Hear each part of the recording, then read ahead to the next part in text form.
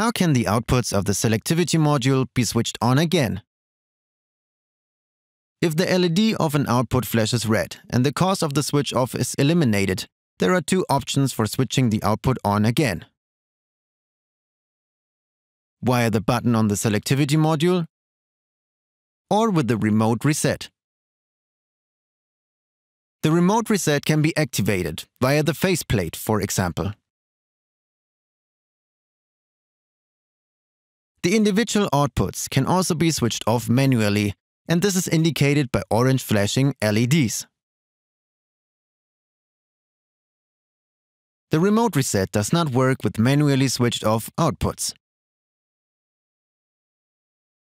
This is for safety reasons, so that no output is switched on that has been switched off, for example for commissioning. The output must be switched on again at the unit. As you have seen, SITOP provides a high degree of safety in the 24-volt controlled circuit.